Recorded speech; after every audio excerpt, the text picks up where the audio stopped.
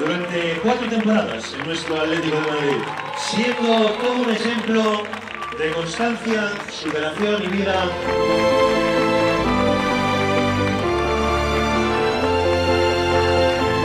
Quería dar las gracias a todos y cada uno de vosotros, a todas las personas que han estado conmigo durante todo este tiempo. Son cuatro años y después de todo lo malo, tengo que decir que se me ha, pasado tan rápido, pero tan rápido.